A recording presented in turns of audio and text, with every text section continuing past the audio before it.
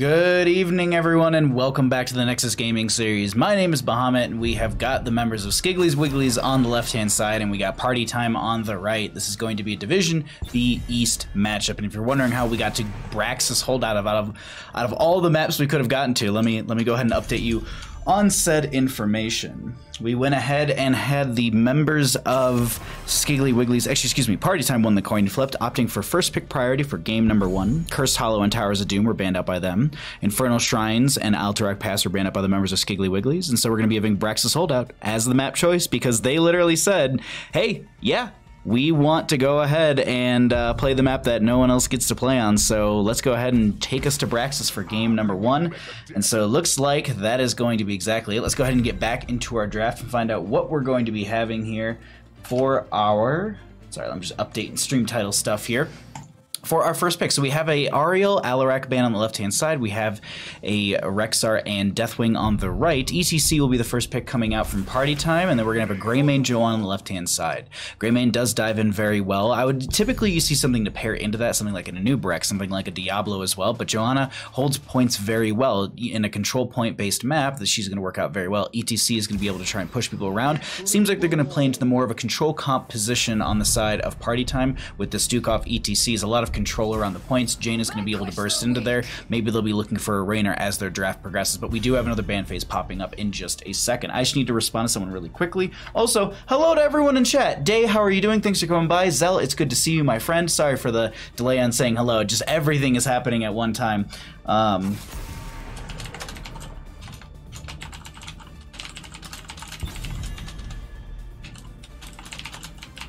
All right, right now, um, what I'm trying to do is just I'm trying to secure us an extra match for the night.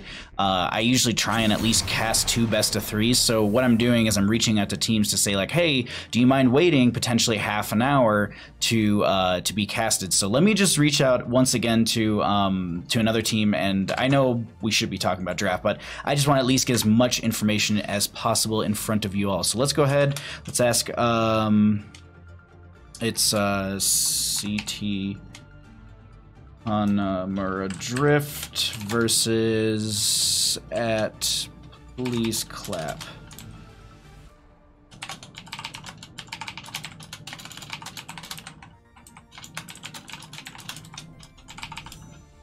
Okay. Sorry, I'm just trying to us another game here. We got that. That's all good. Looks like our lobby DC'd for some reason.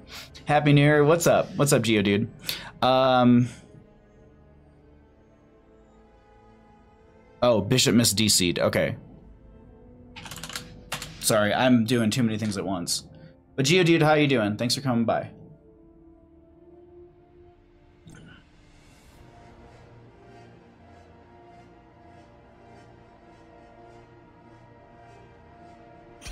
Alright.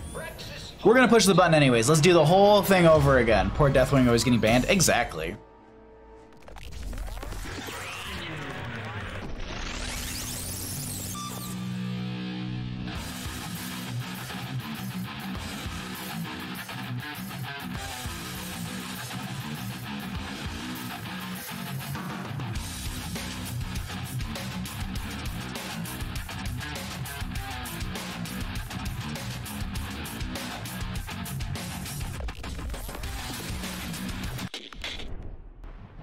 Good evening, everyone, and welcome back to the Nexus Gaming Series. My name is Bahamut. We're, we, had, we had to restart the lobby, so we're going to restart the whole thing. Welcome back to the Nexus Gaming Series. My name is Bahamut. As I said, Skiggly Wigglies will be on our left-hand side. We got Party Time on the right. This is going to be a Division B East matchup.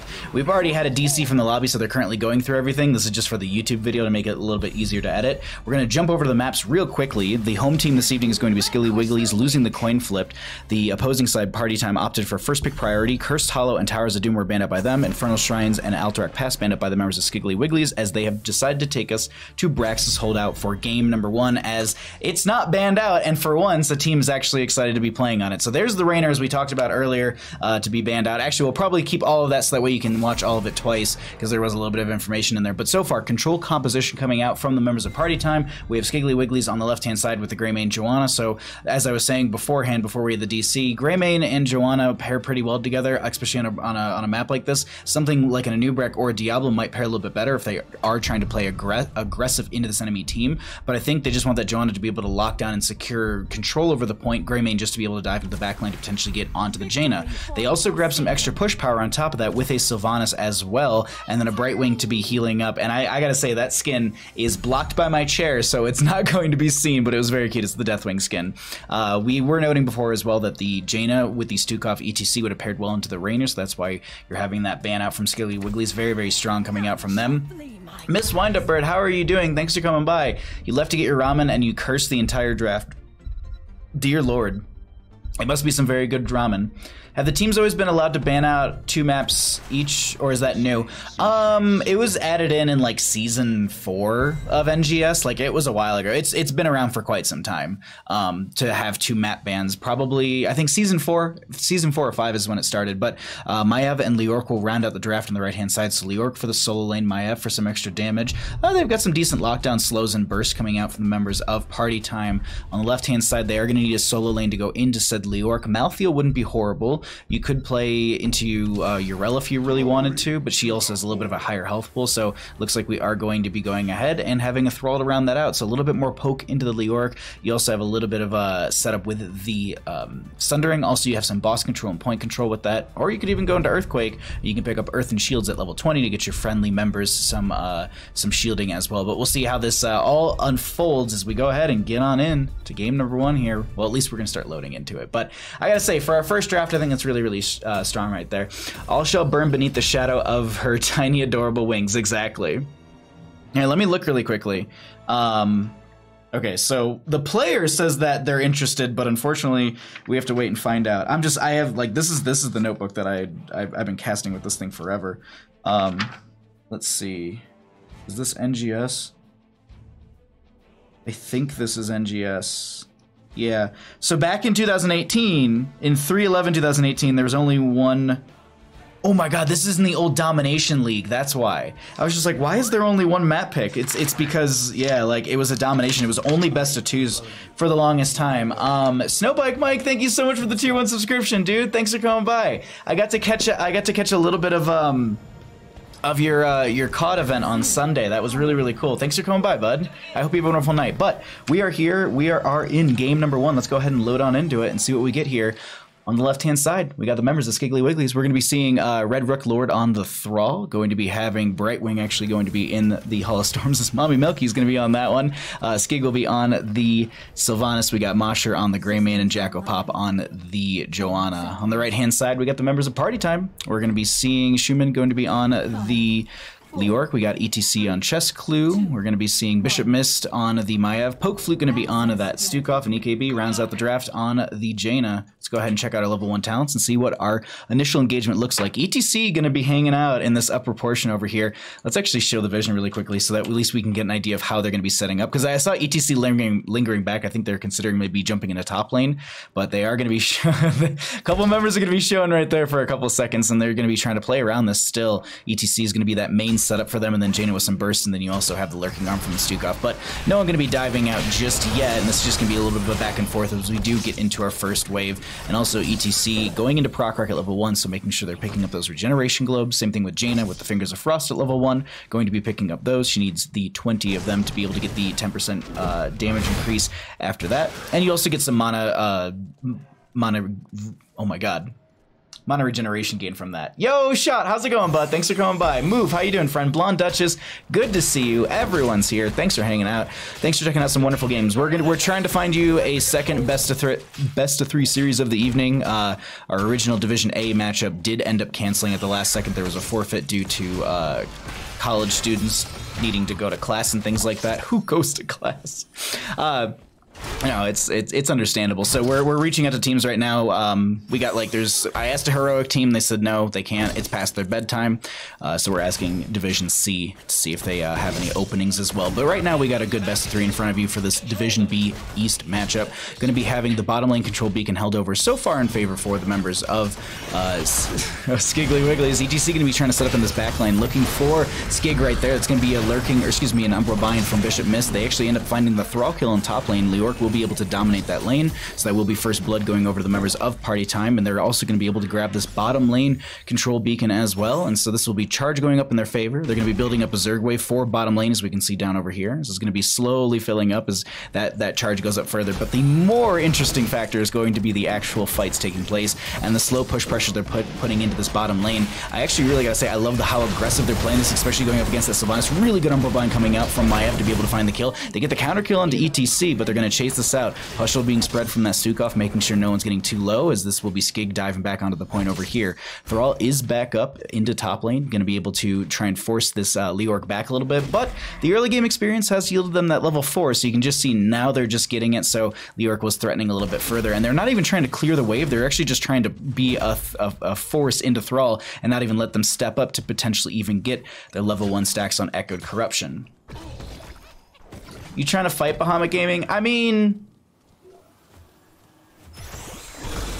Not you. I still think you I still think you'd win. well, we'll find out. I guess BlizzCon 2020, maybe we'll find out. But that's going to be a great Umbral Bind just to kind of disrupt things as ETC does need to get out of there. Bottom lane will be held over by the members of Skiggly Wigglies. That's I don't know why that one always uh, trips me up, but uh, since it's going to be kind of you know held in bottom to our blue and held in top to our red, no one's going to be able to have charge. But this is still Leoric holding the top lane charge, and they're also going to be holding the the control in this top lane. Typically, like this is when when people talk about winning a lane, this is definitely a good visual indication of winning a lane. Thrall's constantly playing back and not able to step up into the lane, not even in, into their front gate. That you know you just saw Leoric stepping into the front gate, not even taking tower shots because obviously there's a minion wave, and they're just playing that really, really well and also really aggressive. So it's just kind of it's it's a burden to be at that point. They might need a rotation from maybe the Sylvanas or the Greymane to uh, really pressure that Leoric, but right now this is going to be Leoric clearing top lane, and that's not going to be a hard time for them. But bottom lane is going to be having a huge Zerg wave coming in. They've also got that Jaina to be able to dump some snow. ETC finds a wonderful power slide, going to be trying to zone some members back, but there is going to be the polymorph from Brightwing to slow them down does have to cycle back out to get some healing from Stukov, gets that Pushel spread around, and now the members of our red team are going to be stepping up into the front gate, and they'll be able to take this down. The question is, are they going to be able to take the fort? Top lane still has the Leoric playing playing that a little bit slower. It seems like one of the Ultralisks might be giving them a bit of a, a rough go there, as there was an um, or excuse me, a condemn from the Johanna to be able to slow them by. Slow them. I thought I saw an Umbral Bind because I saw the uh, a couple of members getting pulled together, but I was like, wait a minute, not not the same kind of pull animation. Seven talent here though has been achieved by the members of Party Time, and they're they're looking to threaten with this as well. They've still got the two Guardians that are attacking from range, and these siege very, very well. It's actually difficult for, for the tower to, to kill it, because, well, it doesn't actually hit the range of the tower, so you actually have to step up and kill it. Another Umbral Bind coming out from Bishop Mist, as they did go also into Bonds of Justice at level 1, looking for those 10 stacks on that one, and they are going to be only 2 out of the 10. Also going to be going into Pin Down at level 4. Not too often we see Maiev's going for that one, just uh, because of how difficult it is to, to finish that out, but on the on the counterpoint that I always make of myself, when you do have four members stacking up around a beacon like this, a fan of knives isn't too far off, isn't too hard to to potentially get onto four enemy heroes. Is uh, Maiev, he's a little bit worried right there, just going to be using the Bolt of the Ward and blinks away, making sure they're right out of there. Announcement: We will stream the Bahamut versus Shot fight at BlizzCon 2020. I'm up for it. Uh, it'll be it'll be just after we do the ad hoc uh, Heroes of the Storm 2020 community uh, tournament that that we're gonna make up on the spot and make it work somehow. that was actually the original plan for the meetup this year, but it just it was just way too much. We were just like, you know what? Let's just all meet up and play games together. Motcher, so very low, doesn't get picked off. We do have this nice, nice looking arm from Poke Flute. They have split Skig off from the friendly team, but it looks like they're to be able to force them uh, to use the Haunting Wave to get the aggressive side of that. Sorry, I was just looking at minimap and also watching this top lane as Schumann is just... this is what I'm talking about, like winning a lane being this aggressive right now. They almost actually got the kill, but Red uh, Red Rook Lord does have their passive ability, so they could pop Wind Fury and get that um, get that Frost Wolf Resilient stack to actually proc, so they get extra healing from that one. Actually, I'm, it's not full. Is it Frost Wolf Resilience? Let's find out together, team. Yes. So essentially, when you get multiple stacks of that, you get a little bit of healing. Actually, 305 healing to be uh, specific. So uh, if you hit an enemy hero with your with your with the Maelstrom, or excuse me, the, with the Wind Fury, Maelstrom is one of the talents. But if you're able to hit them a bunch of times, you can proc it that way. You can also proc it with the Feral Spirit or even the Chain Lightning. So just a lot of good tools for Thrall's own self-sustain. That's why you see him in this bruisery top lane role. Um, but the same thing for Leoric. They've got a great self-sustain themselves, as you can see them managing that fairly well. We also do have the Jaina at 17 out of the 20 stacks on the Fingers of Frost. ETC did finish out the Prog Rock, which does give healing out to the friendly members around them. So you get, you know, it's just, it's extra sustain in some of these fights. The other thing to note too is we are going to be having 10 talent tiers popping up in favor for the members of party time. Oh, hold on, that's going to be Skid getting pulled in. Oh, they actually interrupt the uh, haunting wave. You actually saw it go over there, but they had the Umbral Bind just in time, and that interrupt the ability for them to hit E again, and they couldn't uh, blink to where the haunting wave was. Peeking into top lane really quickly. This is, oh wait, it's March of the Black King, and it's off cooldown. I was wondering if Shun was going to try and bait him in and just March of the Black King on top of him, but not going to be the case, as this is Bishop Mist chasing out a little bit. Going to be using using the Vault, excuse me, the Spirit of Vengeance to get over that wall and, and engage with the friendly team a little bit more aggressive. Another Condemned going to be pulling a couple members in. Um, I didn't think the Johanna wanted to subdue, but I didn't check. Oh, we're finally doing that? I, I hope. I mean, I'd like to try and do it this year, but it just, it takes planning ahead of time. And we all know how that goes in the esports world. So we're gonna RPG Thrall, classic uh, Trap Queen build. March? Actually, you know what? This is, I, I see a lot of March games. I will be honest though, with a Mosh Pit and a Ring of Frost potential, well, you know, Entomb looks really good. Also with maybe a Warden's Cage as well. That's going to be Ring of Frost. There's a Blessed Shield. There's the Warden's Cage you're seeing pulling people in right there.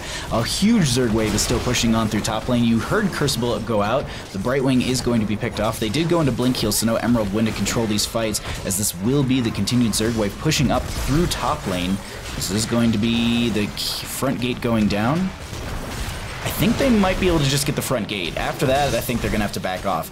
Um, er, Thrall did go into Sunder as well, so that does give them an opportunity to kind of control the fight, maybe split the enemy team, but the big factor with that one is going to be the angle at which you use it. Just throwing the Sunder out willy-nilly is not going to help much if you if you can kind of find that that perpendicular line against the enemy team. So currently they're all traveling from from left to right on the screen. So if you're able to get you below them and you go kind of north to south with that sundering to split the enemy team, it's a really good way for then your friendly team to capitalize because well, usually you're pushing majority of the team to one side and then uh, one to two members towards your friendly team on the left, and that allows in the chase for you to get that. So the angling from the Sundering is going to be important from the Thrall. Here, they could have just thrown it out and definitely split the team just to try and step up onto the point. Unfortunately, not able to get into the lane quick enough, as this is going to be the top lane for our... Uh, I'm trying to remember, is it is it Thor?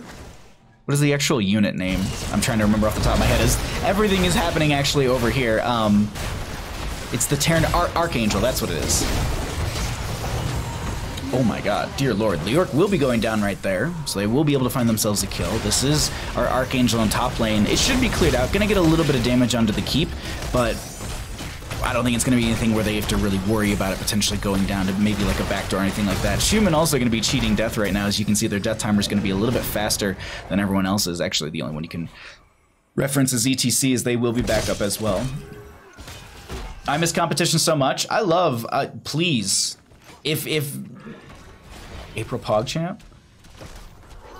March, April. I'm confused. What? What are we talking about months for?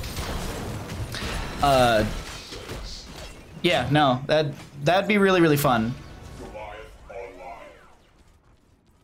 I think what ends up happening is because there's usually like there's X stations, but I think it's in it's in multiples of like 10 because I think it's like five stations go up against the these other five stations constantly. So like if you wanted to have 5v5s, you could potentially set it up that way. So we, we could we we I think we would just have to literally like play a game and then put everyone back through the line and then play a game then put everyone back through the line. So uh, we'll have to figure something out. I, will have to go down there on like day one and, and see what the setup is and then go from there. But I, it'd be really really fun just to do like an ad hoc like bring just a um like a 24 by 36 like uh construction sheet, like a thick piece of paper, and then just make a bracket out on that and just be done with it.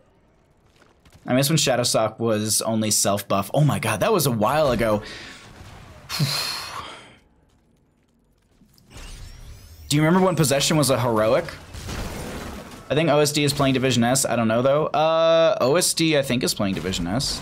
I I don't remember. There's so many divisions at this point that I I I can't keep track of half the stuff. I just see teams. I'm just like, yes, I know you.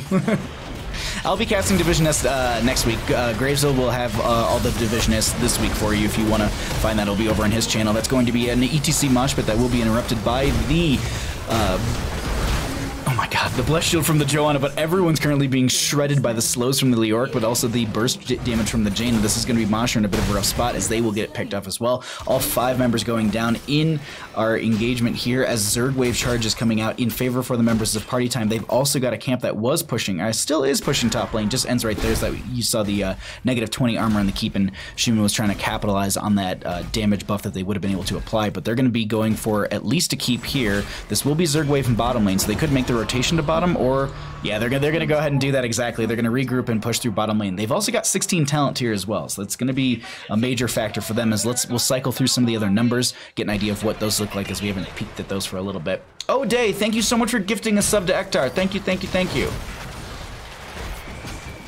That phase when I don't know if my team is playing or not. That's true. That's true shot. I'm sure. I'm sure I could actually. I could let you know. I actually have the entire um, schedule uh, in a in a message from from Wedge, but that's going to be a lot of damage on the Johanna as Jackal Pop is trying to make their way out of here, but they're currently being cornered by the ETC and friends. They find that kill down there as this will be the Zerg wave pushing on in through bottom lane. Schumann and the rest are going to be looking fairly healthy as they actually wraith walk forward, going to be trying to get that damage mitigation. Ooh, this is a lot of damage onto Mommies. And, oh, Mommy is going to be pulled in as well with the Umbral Bind. Bishop Mist looking for one more fan of knives. They're going to try and pull him towards these two towers, and it's not going to be enough as this is going to be Ring of Frost for the zone potential, but the Zerg wave is on core, and that is going to be game number one going over to the members of Party Time. GG. Well played. Orbs. If you're an AGDQ fan. Hmm. I haven't been on Twitch in a while. What are these uh, bubbles to collect now? The experience.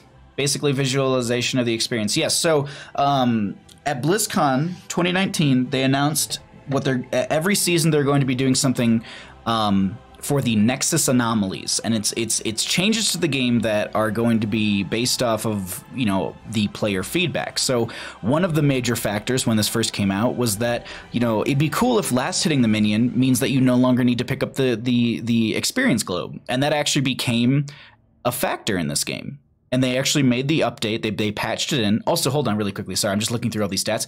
Can we talk about how ETC had a perfect 30,000 siege damage? I know I've got fish brain right now and I'm jumping all over the place, but that just, sorry, I saw that. Either way, the Nexus Anomalies is something they're going to be introducing every single season. So they're going to introduce a new concept or a change to the game. And whether it's good, they're going to keep it in. If it's bad, they're going to remove it. And the, the, the outlier for me here is, is how quickly like if something comes into the game and it's it's received completely negative by the community and it's been like let's say 2 to 3 weeks or 2 to 4 weeks, do you think they'll try and keep it in for a little bit longer, make changes to it or just fully remove it? Cuz that's the big question I have. Cuz seasons uh, I believe are essentially quarterly for Heroes of the Storm. I believe they actually run every 3 to 4 months. So um, it's just one of those things. I'm, I'm curious to see what the other ones are. Me personally, I actually like the experience globe change. I think it's cool. Um, I think it's an it's a it's a good visual, visualization, uh, and I think for newer players that come into the game, it's even better as well. But I personally just like to be able to see the experience and how it comes in. Like I I think it's a cool uh, visualization tool. Sorry, I need to I need to message Mosher. Uh, first pick or map pick. Not gonna lie, can't wait for them to remove XP orbs. Really? You think you think? Well, so what's what's your argument against it, shot? Oh, he mean he means to redeem points for Twitch. I I like how I went through an entire spiel about experience globes, and it's actually just um the you're subjectively wrong. I mean, no, you're that's it's the truth. I mean, I'm going to see it differently than you. You play the game in a completely different fashion than I do. I've talked to I've talked to people who are actually talented at this game, and it is wild to me the things that they consider in a game which you would never. Um, so I'm just I'm messaging players and stuff like really quickly just to figure out stuff. Um, I wish the experience calls were purely a visualization of the old experience system. That'd be interesting to see. When they came out, it wasn't great, but the changes last hitting them was a lot more. I, I agree, Zelda. That, that does make it better. Uh, okay, we got a map. So it's gonna be that. That's gonna be that. Okay. XPRs remove Abathur from the game.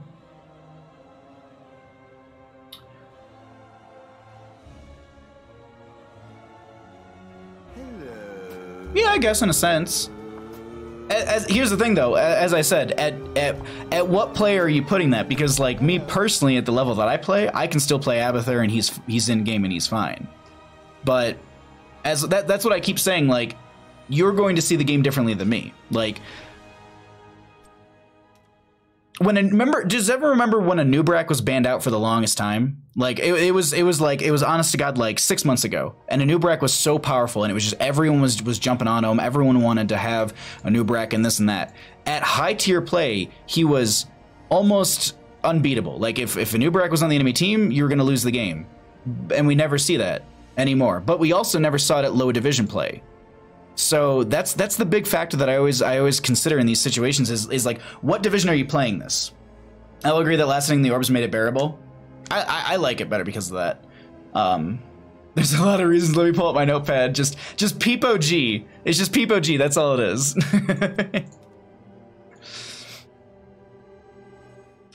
Chat saying Abathur's fine. I miss Anub'arak being a big boy. Abathur definitely nerfed, but you can still do pretty much the same stuff. Monk's Blood, how you doing, bud? Anub'arak was my boy. It was also like shot. Consider this too. Like, do you remember? Like, there was a there was a period where like I remember always talking to you or always overhearing that you were saying that like Diablo's overpowered, Diablo's super super super strong right now, and he didn't have changes for a long time. But it was only at that high tier play. Like at a lower tier play, you have to consider the fact that like, and even Anub'arak or Diablo, the skill shot setup, everything is going to be completely different because they're going to see the game differently. Like a, a, a, master player Diablo is going to be just doing that simple geometry constantly in their head, whereas someone in bronze or silver or gold or maybe even platinum, myself, are going to be trying to find angles or just using things off cooldown because they're off cooldown. So it's it's it's just it's so hard to, to, to say like when a patch comes through that like something's bad or good because there's I see so many different tiers of play that like it may be good for one tier, but it might be bad for another. And that's that's the hardest thing to kind of balance out in some of those situations. Sorry for my rant. Diablo sucks. the Lost Vikings got uh, hefty nerf too. The inability to save soak from bushes hurt them a lot. I I I will agree with that. I I don't know how I feel about the whole not being able to soak from bush. I think if anything, like if you're going to remove that from maybe make it an exception. Like make it like make it so that Anub'arak, not Anub'arak, uh, Abathur and Lost Vikings, like at least those two heroes can soak from bushes. Maybe maybe it's maybe it's those two heroes and then maybe all stealth heroes because Zeratul has been played in the solo lane. Nova can be can sit in a bush and soak as well. Valeera can do the same thing. Granted, at the same time, you're also opening uh, avenues for people to to just troll with that as well. But they're gonna like trolls are gonna troll or they're gonna troll. Like look at Leoric back when he was released and how people would just stand under towers for the entire game and just have a you know 26 game death Leoric. I remember that, and that's why I didn't play League for like a solid year. I I just didn't like it. Too easy to kite and force Diablo to take bad engage. IDK, maybe it's because player decisions. Uh, maybe because the player decision isn't. Player decision making isn't fantastic. It, yeah. All right. Um. Sorry. Teams are saying stuff.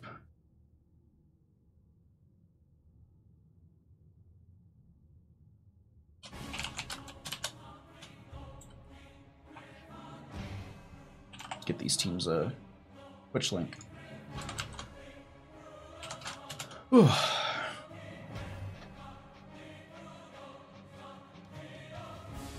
Alrighty. Let's go ahead and uh, get on into our game number two. Make sure that everything's all set up on my end. Yeah, cool. All right, let's go. Gotta love that Leoric trait value. Oh yeah, gotta love it.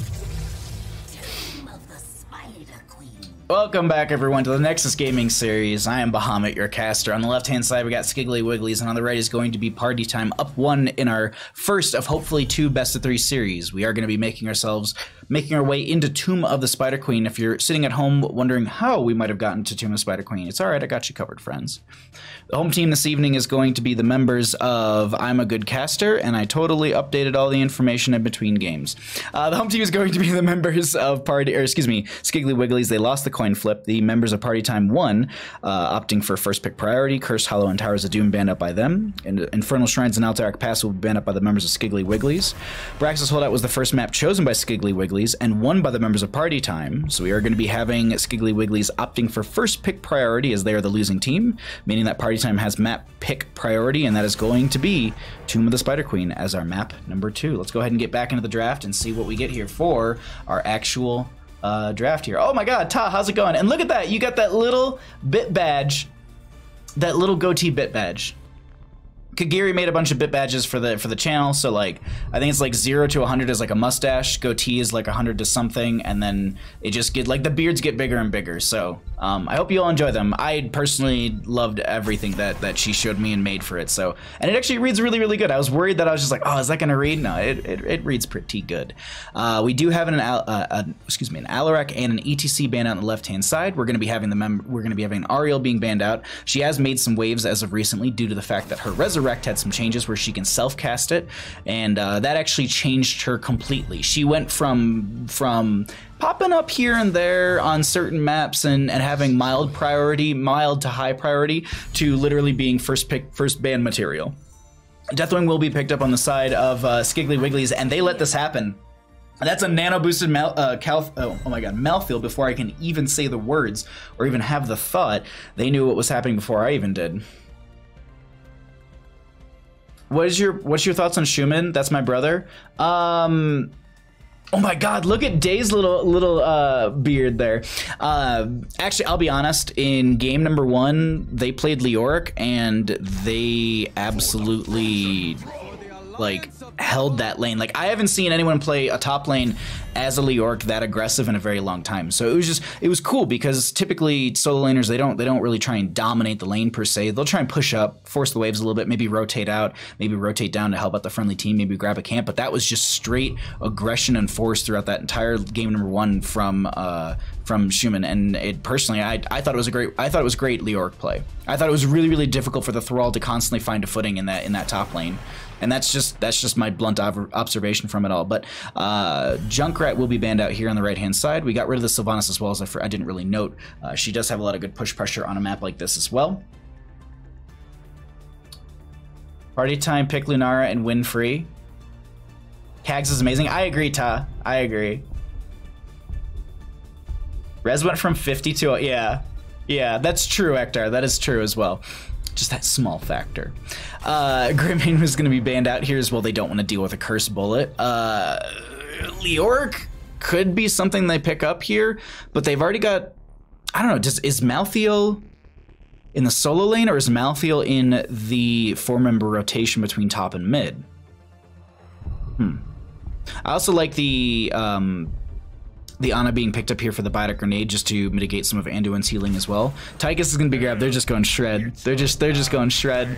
Li Ming's going to be picked up as well. This is a very, I wouldn't say squishy. Li Ming can also be nano boosted on top of all of this as well. So either Malthael or Ana, or excuse me, Li Ming or Malthael to be nano boosted throughout this game. Um, last pick to come out from them, it actually could be a Leoric, realistically. Um, like you, you Leo with the group and then you Malthael solo lane. I don't know. I don't know, actually. Mm, I don't really like the Leoric as their final, but on the left hand side, they do need wave clear currently between, because uh, I'm assuming Deathwing should be in their solo lane, so there's a, a Kel'Thuzad and a Lunar for themselves.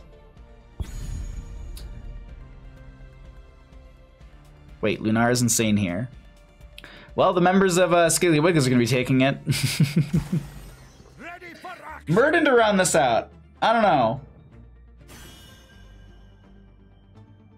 I don't know. I really don't know. The Li Ming feels much. Malthael's in the solo. I don't know. I don't know. This Kel'Thuzad scaling is going to be, I think, an outlier for me as well. Hmm. Hmm. Like Lunara Kel'Thuzad coming out from the members of Skiggly Wigglies. Uh, I'm just not sure. I'm not sure. Honestly, chat, I'm not sure.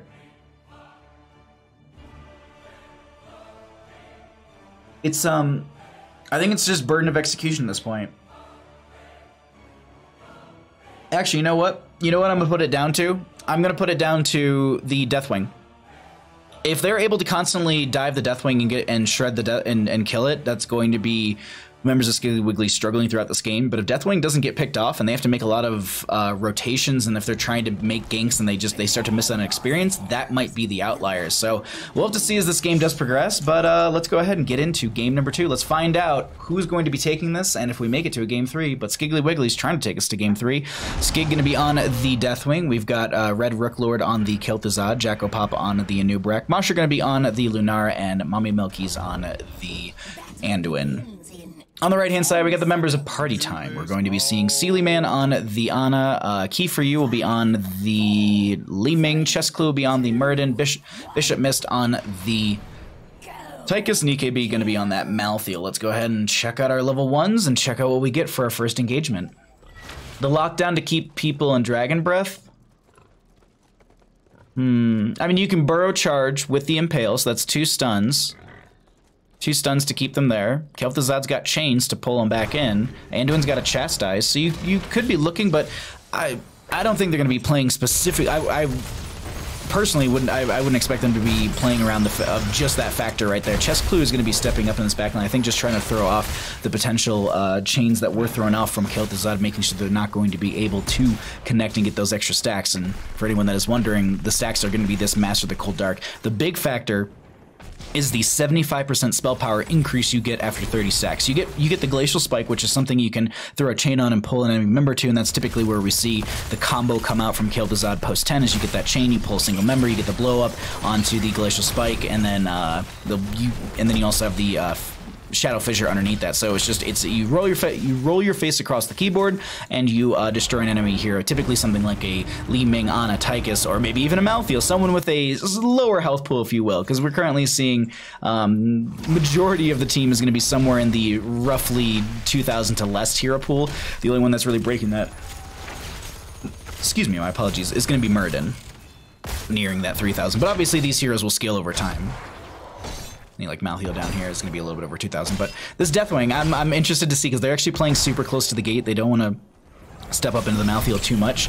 They they did go into on a pale horse. They're going to be picking up a lot of these uh, this missing experience potential in it, especially in mid lane during some of these engagements that are popping off between the top and mid. It's just all over the place right now with this with this team in the Spider Queen game. Malthael's uh, just just trying to posture around the map and help out the friendly team whenever necessary. You can see Skig is, is they're respecting the Malthael. They, they don't want to just sit there and 1v1 into that because they don't think that they're going to win. And um, for a hero that does percentage-based damage, typically you won't. Deathwing stays in the air and lands on Kel'Thuzad combo. That'd be actually pretty cool. How you doing, Alasia? Thanks for coming by. To be fair, neither team has wave clear. Uh, mm-hmm. Lunara does damage to, to minions. Uh, she did actually go into Nature's Calling a level uh, 4 as well, so that's going to give her the increased damage for Wave Clear, so maybe that, that's what they're looking for. Uh, they do have the Death and Decay from the Kel'Thuzad, so that's going to offer a little bit, but even then, you're going to be looking to try and utilize the majority of Kel'Thuzad's abilities for, for damage on enemy heroes rather than Wave Clear.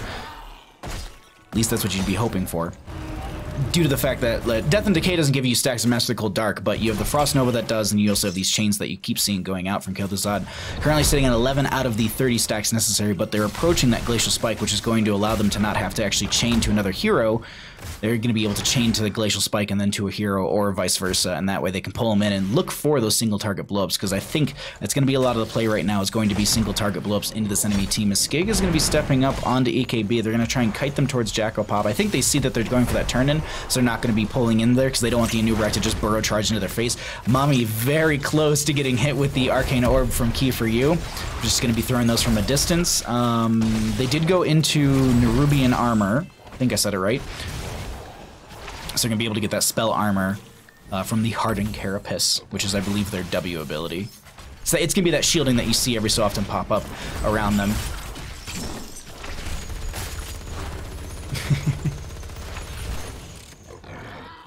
it's a perfect emote shot. Perfect emote.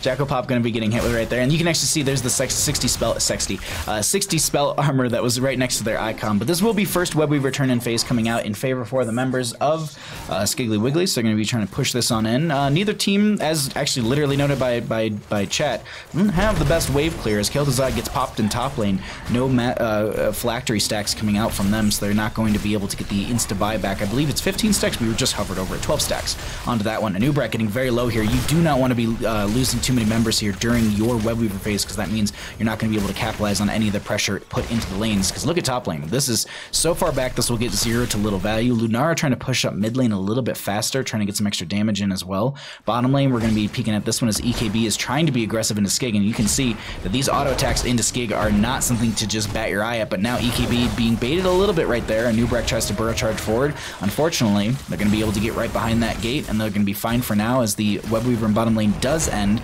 and as I was saying, you're not going to get a whole lot of value from this Webweaver phase, especially because of the uh, staggered death right at the beginning from Red Rook Lord.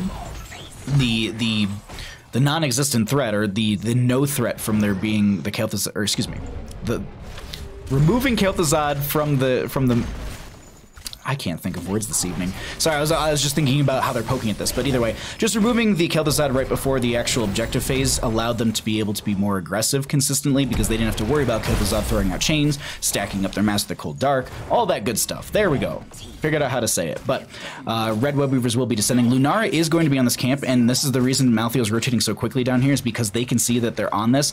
Mommy's going to be down here as well, and EKB, yeah, they got 22 gems. They're not considering that, but Red Web Weavers will be coming through. Deathwing did use the Cataclysm right there. No 10 talent here on either side just yet, so not going to be able to see if, uh, not going to be able to get that reset onto it by taking down a fort, but either way, they are on the defensive path right now as we can cycle through the other numbers once again. Going to be using that Dragon Breath to try and push back the wave a little bit here, but top lane will be what they're trying to prioritize, and this is due to the fact that Boss lane is often uh, is is up here right above it. It's actually this pit above us. Definitely gets picked off. That's a res reset for Li Ming. So typically you see a lot of teams grab the boss plus the um, the web weaver turn in, and then you, they try and end through top lane. Members of Party Time are going to be stepping up further, as that will be Jackal Pop procking their. Uh, Ooh, oh, the Stormbolt just narrowly missing as they actually get a couple stacks from the Kel'Thuzad as they're chasing into this. Red Rooklord so very low, doesn't go down, but they turn around and say, you know what, this is going to be our keep for us. As uh, Commandeer Odin was grabbed by the Tychus. I was curious to see what they were going to be grabbing as the Skyfall is going to be coming out. For, oh,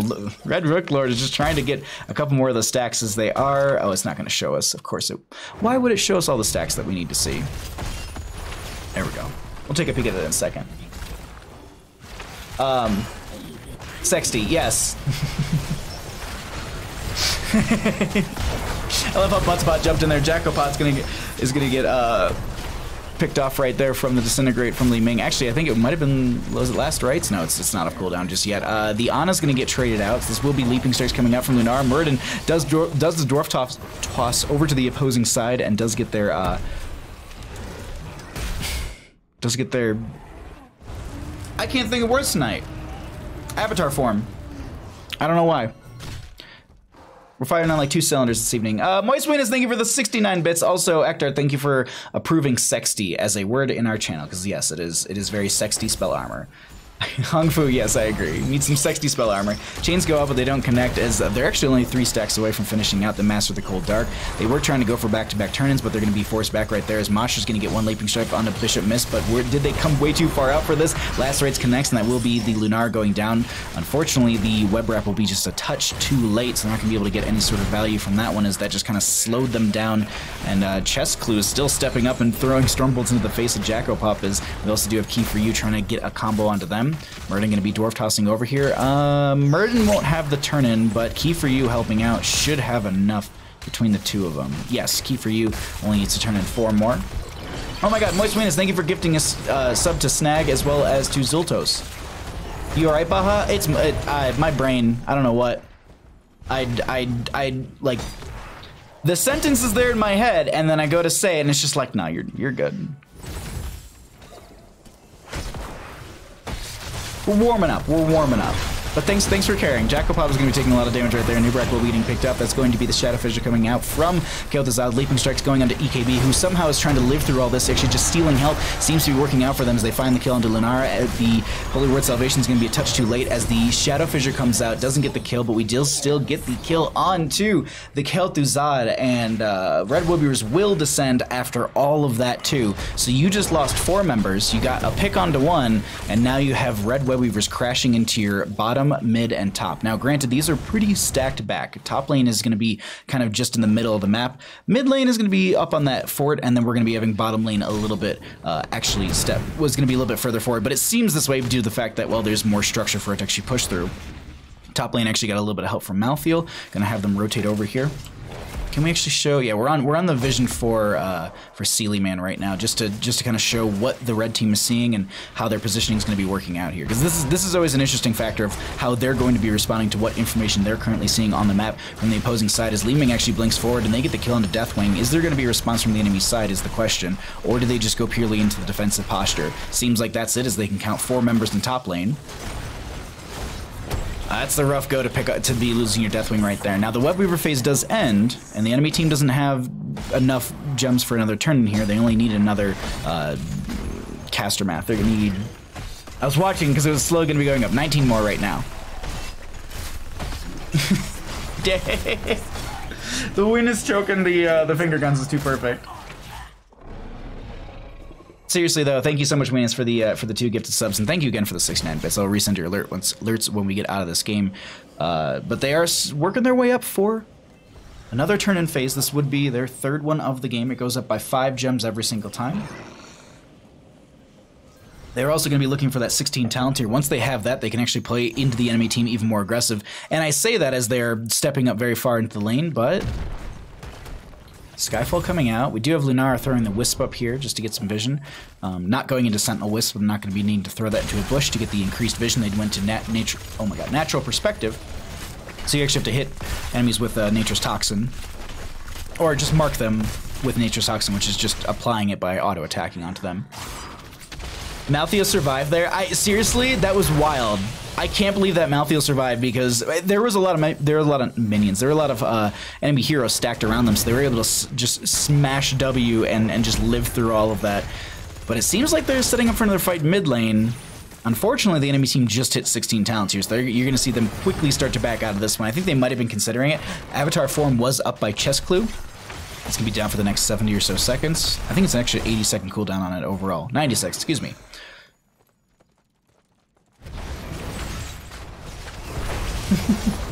Oh, oh, Anduin going to get picked off right there. That's going to be Shadow Fissure coming out. That does give the reset because it did hit a hero. Cataclysm coming through. Chest Clue taking a lot of damage. They don't have the Avatar form, so Lunar will Leaping Strike over to them.